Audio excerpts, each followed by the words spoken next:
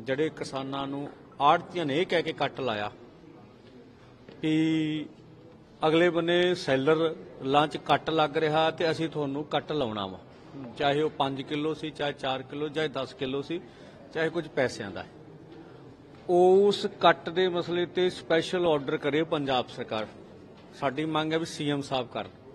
ਬੋਲਣ। ਜੜੀ ਤਾਂ ਵੱਧ ਮੌਇਸਚਰ ਕਰਕੇ ਕੋਈ ਤਲਾ ਗਿਆ ਹੋਊਗਾ, ਉਹਦੇ ਤੇ ਨਹੀਂ ਅਸੀਂ ਕਰਦੇ। ਜਿਹੜਾ 17 ਮੌਇਸਚਰ ਤੋਂ ਘੱਟ ਹੋਊ ਤੇ ਸੈਲਰ ਮਾਲਕ ਦੇ ਨਾਂ ਤੇ ਕੱਟ ਲੱਗ ਗਿਆ। ਪੰਜਾਬ ਸਰਕਾਰ ਆਰਡਰ ਦਵੇ ਵੀ ਸਾਰੇ ਕਿਸਾਨ ਉਹ ਦੱਸਣ ਵੀ ਕਿਹਦਾ ਕਿਹਦਾ ਕਿੰਨਾ ਕੱਟ ਲੱਗਾ ਉਹਦੀ ਕੱਟ ਦੀ ਭਰਪਾਈ ਕੀਤੀ ਜਾਊ। ਜੇ ਕੋ ਆੜਤੀਆ ਨਹੀਂ ਕਰੂਗਾ ਉਹਦੇ ਖਿਲਾਫ ਕਾਨੂੰਨੀ ਕਾਰਵਾਈ ਜਾਂ ਪਰਚਾ ਹੋਊਗਾ। ਭਰਪਾਈ ਪੈਸਿਆਂ 'ਚ ਹੋਏਗੀ ਜਾਂ ਫਿਰ ਚਾਹੇ ਦਾਣਿਆਂ 'ਚ ਕਰ ਲੇ ਚਾਹੇ ਪੈਸੇ ਕਰ ਲੇ ਜਿੰਨਾ ਉਹਦਾ ਕੱਟ ਲੱਗਾ। ਉਹ ਦੱਸੂ ਨਾ ਮੇਰਾ ਕੱਟ ਲੱਗਾ। ਮੇਰੇ ਕੋ 5 ਕਿਲੋ ਵੱਧ ਲਏ। ਠੀਕ ਹੈ? ਠੀਕ ਹੈ? ਮੇਰੀ ਸੁਣ ਲਓ ਨਾ ਗੱਲ। ਸੁਣ ਲਓ ਨਾ ਪਹਿਲਾਂ ਸੁਣੋ, ਫਿਰ ਤੁਸੀਂ ਗੱਲ ਤੋ ਦੂਸਰਾ ਹੈਗਾ ਵਾ ਵੀ ਜਦੋਂ ਇਹ ਇਹ ਜਿਹੜੀ ਗੱਲ ਹੋਈ ਆ ਵੀ ਕੱਟ ਲੱਗਣ ਬਾਰੇ ਆ, ਵੀ ਕੱਟ ਲੱਗਣ ਬਾਰੇ, ਵੀ ਕੱਟ ਬਾਰੇ ਪੰਜਾਬ ਸਰਕਾਰ ਆਰਡਰ ਦੇਵੇ ਔਰ ਕੱਟ ਤੇ ਫੈਸਲਾ ਕੀਤਾ ਜਾਵੇ। ਇੱਕ।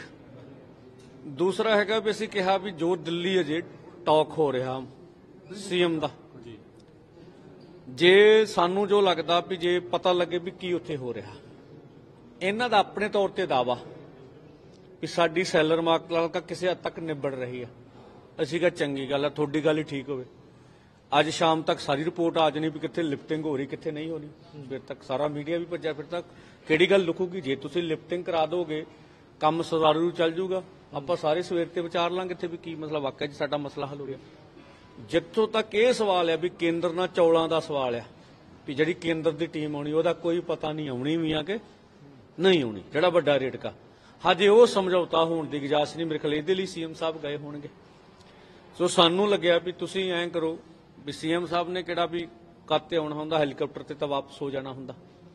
ਤੁਸੀਂ अर्ਲੀ ਮਾਰਨਿੰਗ ਸਾਡੀ ਗੱਲ ਕਰਾਓ ਉਹਨਾਂ ਨਾਲ ਚੰਡੀਗੜ੍ਹ 'ਚ। ਸਾਰੇ ਮੋਰਚੇ ਦੇ ਲੀਡਰ ਆ ਜਾਣਗੇ। ਸਾਨੂੰ ਪਤਾ ਲੱਗੇ ਵੀ ਉੱਥੇ ਉਹਨਾਂ ਦੀ ਕੀ ਗੱਲਬਾਤ ਹੋਈ ਹੈ ਕੀ ਨਹੀਂ ਹੋਈ। ਠੀਕ ਹੈ ਜੀ? ਫਿਰ ਪਤਾ ਲੱਗ ਜੂ ਵੀ ਕੀ ਗੱਲ ਹੈ। ਅਸੀਂ ਫਿਰ ਉਹਦੇ ਲਈ ਸਾਰੇ ਲੀਡਰ ਮਿਲ ਕੇ ਕੋਈ ਰਾਹ ਕੱਢਾਂਗੇ। ਕੀ ਬੋਲਦੇ ਸੀਐਮ ਸਾਹਿਬ ਦੀ ਦਿੱਲੀ ਸਰਕਾਰ ਨਾਲ? ਕੀ ਗੱਲਬਾਤ ਹੋ ਰਹੀ ਹੈ? ਅਧਿਕਾਰੀ ਤਾਂ ਆਪਣੇ ਥਾਂ ਹੁੰਦੇ। ਉਹਨਾਂ ਜੋ ਕਿਹਾ ਵੀ ਸਾਡੇ ਸੀਐਮ ਸਾਹਿਬ ਬਿਜ਼ੀ ਨੇ। ਹੁਣ ਦੇਖ ਲਓ ਪੰਜਾਬ ਦਾ ਸੀਐਮ। ਪੰਜਾਬ ਦੇ ਮਸਲਿਆਂ ਲਈ ਰਾਤ ਪੰਜਾਬ ਨਹੀਂ ਮੁੜ ਸਕਦਾ। ਔਰ ਜੋ ਕੁਝ ਡਿਵੈਲਪਮੈਂਟ ਹੋਈ ਆ ਭਾਵੇਂ ਸਾਰਿਆਂ ਨੂੰ ਸੱਦ ਲਵੇ। ਉਹ ਪੋਜੀਸ਼ਨ ਰੱਖਦੇ ਵੀ ਆਹ ਡਿਵੈਲਪਮੈਂਟ ਹੈ, ਮੈਨੂੰ ਆਹ ਲੱਗਦਾ ਵੀ ਮੈਂ ਨਿਬੇੜ ਲੂੰਗਾ। ਉਹਦੇ ਸੰਦਰਭ ਵਿੱਚ ਫਿਰ ਕਿਸਾਨ ਲੀਡਰ ਵੇਖਣਗੇ। ਵੀ ਆ ਜਿਹੜਾ ਮਸਲਾ ਇਹਨੂੰ ਕਿਵੇਂ ਹੱਲ ਕਰਨਾ? ਪਰ ਫਿਲਹਾਲ ਉਹਨਾਂ ਵੱਲੋਂ ਨਹੀਂ। ਠੀਕ ਹੈ ਨਹੀਂ? ਤੋ ਇਸ ਕਰਕੇ ਹਜੇ ਇਹ ਆਪਣਾ ਜਿਹੜਾ ਮੋਰਚਾ, ਇਹ ਚੱਲੂਗਾ। ਫਿਰ ਵੀ ਜਿਹੜੀ ਉਹਨਾਂ ਦੀ ਪ੍ਰਪੋਜ਼ਲ ਹੋਈ ਆ, ਅਸੀਂ ਸਾਰੇ ਆਪਣੇ ਆਗੂ ਸਹਿਬਾਨਾਂ ਨਾਲ ਵਿਚਾਰ ਚਰਚਾ ਕਰਾਂਗੇ। ਠੀਕ ਆ? ਅਸੀਂ ਚਾਹੁੰਦੇ ਫਿਲਹਾਲ ਇਹਨਾਂ ਅਸ ਅਧਿਕਾਰੀਆਂ ਕੋਲੇ ਫਿਲਹਾਲ ਕੋਈ ਹੱਲ ਸਾਨੂੰ ਫੌਰੀ ਨਹੀਂ ਨਜ਼ਰ ਆ ਰਿਹਾ। ਅਸੀਂ ਆਪਣੇ ਵੱਲੋਂ ਗੇਂਦ ਇਹਨਾਂ ਦੇ ਪੱਲ 'ਚ ਕੱਲ ਦਿੱਤੀ ਹੈ। ਵੀ ਸਾਨੂੰ ਜੋ ਲੱਗਿਆ, ਵੀ ਜੇ ਇਸ ਕ੍ਰਾਈਸਿਸ ਚੋਂ ਨਿਕਲਣਾ अर्ਲੀ ਮਾਰਨਿੰਗ ਪਤਾ ਲੱਗੇ ਵੀ ਦਿੱਲੀ ਬਣਿਆ ਕੀ ਆ। ਕਿਉਂਕਿ ਰਾਤ ਤਾਂ ਨਹੀਂ ਜਾਗਦੇ ਸਵੇਰੇ ਚੱਲ ਜਾਾਂਗੇ ਪਤਾ ਲੱਗ ਜੂ ਵੀ ਸੀਐਮ ਸਾਹਿਬ ਕੀ ਬੋਲਦੇ ਆ। ਜੇ ਉਹ ਚ ਕੋਈ ਪੋਜ਼ਿਟਿਵ ਟੋਕ ਹੋਊਗੀ ਕੋਈ ਪੰਜਾਬ ਦਾ ਨਿਬੇੜਾ ਹੋਊਗਾ ਤੇ ਉਹਦੇ ਸੰਦਰਭ ਵਿੱਚ ਸਾਨੂੰ ਵਿਚਾਰਨਾ ਸੌਖਾ ਹੋਊਗਾ। ਅਸੀਂ ਵੀ ਲੋਕਾਂ ਪ੍ਰਤੀ ਜਵਾਬ ਦੇ ਲੋਕਾਂ ਨੂੰ ਖੱਜਲ ਖਰਾਬੀ ਤੋਂ ਬਚਾਇਆ ਜਾ ਸਕੇ। ਬਹੁਤ ਮੁਸ਼ਕਲ ਹੁੰਦੀ ਸੜਕ ਤੇ। ਅਸੀਂ ਵੀ ਸੜਕ ਤੇ ਬੈਠੇ ਹੈਗੇ ਆ।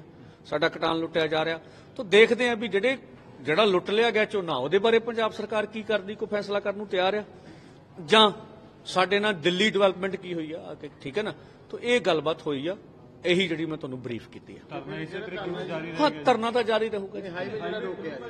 ਨਹੀਂ ਧਰਨਾ ਤਾਂ ਮ- ਜਿਹੜੀ ਮੈਂ ਕਹਿੰਦਾ ਜਿਵੇਂ ਆ ਜਿਵੇਂ ਅਸੀਂ ਜੋ ਅਸੀਂ ਚਲਾਉਣਾ ਆਪਾਂ ਬੰਦੇ ਲੈ ਕੇ ਪੁਲਿਸ ਨੂੰ ਵੀ ਕਹਿਤਾ ਵੀ ਕੋਈ ਵੀ ਐਂਬੂਲੈਂਸ ਨਹੀਂ ਰੁਕੂਗੀ। ਕੋਈ ਜਿਹੜਾ 에어ਪੋਰਟ ਦਾ ਸਵਾਰੀ ਐਮਰਜੈਂਸੀ ਸਵਾਰਾਂ ਸਾਰੀਆਂ ਬਾਹਰ। ਬਾਕੀ ਨਾਰਮਲ ਧਰਨਾ ਚੱਲਦਾ ਰਹੂਗਾ। ਨਹੀਂ ਜਿੱਦਾਂ ਜਿੱਦਾਂ ਪਹਿਲਾਂ ਜਾ ਰਿਹਾ ਸੀਗਾ ਇੱਕ ਸਰਵਿਸ ਲਾਈਨ ਖੋਲੀ ਹੋਈ ਸੀਗੀ। ਅੱਜ ਉਹ ਵੀ ਅੱਜ ਬੰਦ ਕੀਤੀ ਮੈਂ ਜਿਹੜੀ ਬੇਨਤੀ ਕੀਤੀ ਆ ਇਹ ਤਾਂ ਪਹਿਲੋਂ ਐਲਾਨ ਸੀਗਾ ਨਾ ਵੀ ਅਸੀਂ ਸਾਰਾ ਬਲੌਕ ਕਰਾਂਗੇ। ਅਣਮਿੱਥੇ ਸਮਾਂ ਅਣਮਿੱਥੇ ਸਮੇਂ ਲਈ। ਉਹ ਤੇ ਅਸੀਂ ਐਮਰਜੈਂਸੀ ਸੇਵਾਵਾਂ ਬਹਾਲ ਰੱਖਾਂਗੇ ਉਹ ਹੈਗੀਆਂ ਨੇ। ਠੀਕ ਹੈ ਨਾ? ਅਸੀਂ ਤਾਂ ਆਪਣੇ ਵੱਲੋਂ ਪਾਲੇ ਵਾਲ ਗੇਂਦ ਸੁੱਟਤੀ ਸਰਕਾਰ ਦੇ।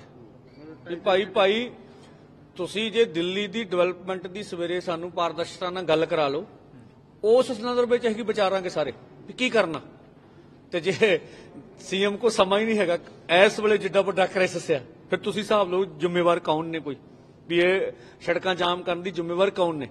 ਜੇ ਉਹਨਾਂ ਨੂੰ ਲੱਗਦਾ ਹੋਊ ਅਸੀਂ ਪ੍ਰਪੋਜ਼ਲ ਦੇ ਕੇ ਫਿਰ ਤਾਂ ਉਹਨਾਂ ਨੂੰ ਦੱਸਣਾ ਵੀ ਸਾਡੇ ਉਹ ਕਰਾ ਲੈਣਗੇ ਗੱਲ। ਵੀ ਇਹਦਾ ਕੋਈ ਬਹਿ ਕੇ ਮਿਲ ਬੈਠ ਕੇ ਹੱਲ ਕੱਢ ਲਈਏ। ਜੇ ਉਹਨਾਂ ਨੂੰ ਨਹੀਂ ਲੱਗਦਾ ਹੋਊਗਾ ਨਾ ਕਰਨਗੇ। ਇਹ ਵੀ ਗੱਲ ਕਹੀ ਜਾ ਰਹੀ ਹੈ ਕਿ ਜਿਹੜਾ ਧਰਨਾ ਮੋਰਚਾ ਲਾਇਆ ਸੀਗਾ ਦਿੱਲੀ ਦੀਆਂ ਬਰੂਹਾਂ ਤੇ ਉਹਦੇ ਕਰਕੇ ਬੀਜੇਪੀ ਕਿਸਾਨਾਂ ਨੂੰ ਇਸ ਤਰੀਕੇ ਨਾਲ ਪਰੇਸ਼ਾਨ ਕਰ ਰਹੀ ਹੈ। ਨਹੀਂ ਠੀਕ ਹੈ। ਇਹ ਵੀ ਦੇਖੋ ਨਾ ਇੱਕ ਤਾਂ ਇਹ ਵੀ ਸਮੱਸਿਆ ਵਾ। ਇਹ ਚ ਕੋਈ ਰੌਲਾ ਨਹੀਂਗਾ ਪੰਜਾਬੀਆਂ ਨੂੰ ਟਾਰਗੇਟ ਕਰਦੇ ਆ। ਇਹ ਚ ਕੋਈ ਰੌਲਾ। ਦੂਜਾ ਜਿੱਥੇ ਜਿੱਥੇ ਵੀ ਉਹਨਾਂ ਦੀਆਂ ਸਰਕਾਰਾਂ ਭਾਜਪਾ ਦੀ ਸਰਕਾਰ ਨਹੀਂ ਹੈਗੀ। ਤੁਸੀਂ ਮਹਾਰਾਸ਼ਟਰ ਤੁਸੀਂ ਦੇਖੋ ਬਿਹਾਰ ਕਿਸੇ ਵੀ ਸਟੇਟ ਵਿੱਚ ਸੌਰੀ ਹਰਿਆਣੇ ਚ ਚਲੋ ਹਰਿਆਣੇ ਤਾਂ ਉਹਨਾਂ ਦੀ ਆ। ਜਿੱਥੇ ਜਿੱਥੇ ਉਹਨਾਂ ਦੀਆਂ ਸਰਕਾਰ ਕਾਂਗਰਸ ਦੀ ਆ ਥਰਡ ਫਰੰਟ ਦੀ ਆ ਇੰਡੀਆ ਗੱਠਜੋੜ ਦੀ ਆ ਉੱਥੇ ਉੱਥੇ ਮੋਦੀ ਸਾਹਿਬ ਦੀ ਪਾਲਿਸੀ ਹੋਰ ਹੁੰਦੀ ਆ। ਠੀਕ ਆ ਪੰਜਾਬ ਵਿੱਚ ਉਹਨਾਂ ਦੀ ਸਰਕਾਰ ਨਹੀਂ ਹੈਗੀ। ਦੁੱਖ ਦੀ ਗੱਲ ਹੈ ਪੰਜਾਬ ਵਾਲੇ ਡਰੇ ਹੀ ਇੰਨੇ ਜ਼ਿਆਦਾ ਵਾ ਉਹਨਾਂ ਦੀ ਗਾੜੀ। ਮੈਂ ਕਹਿੰਦਾ ਚੰਗੀ ਗੱਲ ਹੈ ਸੀਐਮ ਸਾਹਿਬ ਜਾ ਕੇ ਬਹਿ ਕੇ ਮੈਨੂੰ ਮਾੜਾ ਨਹੀਂ ਸਮਝਦਾ। ਅਸੀਂ ਤੇ ਕਹਿੰਦੇ ਦੇਖੋ ਕੈਪਟਨ ਸਾਹਿਬ ਨੇ ਪੰਜਾਬ ਨੇ ਬਣਾਇਆ ਨਾ ਕੈਪਟਨ ਸਾਹਿਬ ਨੂੰ ਮੁੱਖ ਮੰਤਰੀ। ਪੰਜਾਬ ਦਾ ਖਾਦਾ ਪੀਤਾ ਰਮਨੀਤ ਬਿੱਟੂ ਨੇ ਪੰਜਾਬ ਦਾ ਖਾਤਾ ਪੀਤਾ, ਬਥੇਰੇ ਭਾਜਪਾ ਦੇ ਲੀਡਰ ਹੈ ਤੇ ਪੰਜਾਬ ਦੇ ਹੈ ਨਾ। ਜੇ ਇੱਥੋਂ ਉੱਠ ਕੇ ਕਿਤੇ ਆਪਣੇ ਪ੍ਰਧਾਨ ਮੰਤਰੀ ਨੂੰ ਕਹਿਣ, ਜਿਹੜੇ ਦੇਸ਼ ਦੇ ਪ੍ਰਧਾਨ ਮੰਤਰੀ ਵੀ ਸਰਦਾਰ ਜੀ, ਇਹ ਮਸਲੇ ਦਾ ਹੱਲ ਕਰੋ ਕਿ ਬਾਰਡਰ ਸਟੇਟ ਆ। ਔਰ ਕਿਸਾਨ ਪਹਿਲੋਂ ਮਰਿਆ ਹੋਇਆ, ਖੁਦਕੁਸ਼ੀਆਂ ਕਰ ਰਿਹਾ, ਫਾਹੇ ਲੈ ਰਿਹਾ, ਤੇ ਇਹਨੂੰ ਕਿਸਾਨ ਨੂੰ ਕਿੰਨਾ ਕੁ ਤੰਗ ਕਰੋਗੇ? ਅਸੀਂ ਦੂਜਾ ਪੱਖ ਕਹਿੰਨੇ ਤੁਸੀਂ ਇਕਾਨ ਤੁਸੀਂ ਸਿਆਣੇ ਜੀ ਸਾਰੇ ਬੁੱਧੀਜੀਵੀ ਜੇ ਪੱਤਰਕਾਰ। ਮੈਨੂੰ ਦੱਸੋ ਜੇ ਕਿਸਾਨ ਮਰ ਗਿਆ, ਪੰਜਾਬ ਚੱਲ ਜੂ। ਠੀਕ ਹੈ, ਸਾਡੇ ਤੇ ਅੱਜ ਬਸ਼ਾਰਾ ਹੋ ਰਹੀਆਂ ਮੀਡੀਆ ਦੀਆਂ। ਹੋਣਗੇ ਤਰ੍ਹਾਂ ਤਾਂ ਲੋਕ ਤੰਗ ਵੀ ਹੈ, ਇਹ ਚ ਕੋਈ ਰੌਲਾ ਨਹੀਂ। ਭਲਾ ਕੀ ਇਸ ਬਿਹੇਵ ਤੇ 2-4 ਦਿਨ ਦੀ ਤਕਲੀਫ ਲਈ ਮੰਨ ਲਈਏ ਕਿ ਪੰਜਾਬ ਪੰਜਾਬ ਖਤਮ ਕਰ ਦਈਏ, ਨਾ ਬੋਲੀਏ, ਮਾਂ ਰੌਲਾ ਪਾਈਏ। ਜੇ ਅਸੀਂ ਅਸੀਂ ਨਹੀਂ ਕਰਦੇ, ਤਾਂ ਪੰਜਾਬ ਖਤਮ ਹੋ ਰਿਹਾ। ਪੰਜਾਬ ਦੇ ਦਿਵਾਲੇ, ਪੰਜਾਬ ਦਾ ਅਰਥਚਾਰਾ ਘੁੰਮਦਾ। ਅਸੀਂ ਇਹੀ ਸਾਰੀ ਸ਼ਹਿਰੀਆਂ ਨੂੰ ਬੇਨਤੀ, ਮੁਲਾਜ਼ਮਾਂ ਨੂੰ ਬੇਨਤੀ, ਵਪਾਰੀਆਂ ਨੂੰ, ਦੁਕਾਨਦਾਰਾਂ ਨੂੰ ਕਰਨਾ ਚਾਹੁੰਦੇ। ਸਾਡੇ ਵਾਲੀ ਪੋਜੀਸ਼ਨ ਵੀ ਸਮਝੋ, ਸੜਕਾਂ ਤੇ ਬਹਿਣਾ ਇੰਨਾ ਸੌਖਾ ਨਹੀਂ ਹੁੰਦਾ। ਬਹੁਤ ਖਾਈ ਨਾ ਬੇਸਿੱਟਾ ਰਹੀ ਹੈ ਕਹਿ ਸਕਦੇ ਮੀਟਿੰਗ ਢਾਈ ਨਹੀਂ ਫਿਲਹਾਲ ਪ੍ਰਪੋਜ਼ਲਾਂ ਆਈਆਂ ਦੋਵਾਂ ਧਿਰਾਂ ਵੱਲੋਂ। ਫਿਲਹਾਲ ਮਸਲੇ ਦਾ ਹੱਲ ਕੋਈ ਨਹੀਂ। ਬਟ ਉਹਨਾਂ ਨੇ ਜਿਹੜੀ ਪ੍ਰਪੋਜ਼ਲ ਦਿੱਤੀ ਅਸੀਂ ਵਿਚਾਰਦੇ ਹਾਂ। ਅਸੀਂ ਜਿਹੜੀ ਪ੍ਰਪੋਜ਼ਲ ਉਹਨਾਂ ਗਾੜੀ ਰੱਖੀ ਤੁਹਾਨੂੰ ਓਪਨ ਦੱਸਤੀ ਆ। ਮੀਡੀਆ ਗਾੜੀ ਲੋਕਾਂ ਗਾੜੀ ਸਾਡੇ ਜਿਹੜੇ ਲੋਕ ਨੇ ਜਿਹਨਾਂ ਨੂੰ ਲੱਗਦਾ ਵੀ ਇਹ ਬੈਠੇ ਉਹਨਾਂ ਗਾੜੀ ਗੱਲ ਚੱਲ ਜੇ ਅਸੀਂ ਕੀ ਕਹਿ ਰਹੇ ਹਾਂ। ਹੁਣ ਇਹ ਲੋਕ ਤੈਅ ਕਰਨਗੇ ਵੀ ਪੰਜਾਬ ਦੇ ਸੀਐਮ ਕੋਲ ਸਮਾਂ ਹੈਗਾ ਕਿ ਨਹੀਂ ਹੈ। ਜਿਹੜੇ ਸੀਐਮ ਸਾਹਿਬ ਹੋਣਗੇ ਤੁਹਾਨੂੰ ਨਹੀਂ ਲੱਗਦਾ ਇਹ ਪਹਿਲਾਂ ਜਿਹੜਾ 1 ਅਕਤੂਬਰ ਤੋਂ ਸਰਕਾਰੀ ਖਰੀਦ ਸ਼ੁਰੂ ਹੋਈ ਹੈ ਇਹ ਇਹ ਪਹਿਲਾਂ ਜਾ ਕੇ ਬਹਿਣਾ ਚਾਹੀਦਾ? ਕਿਉਂ ਨਹੀਂ?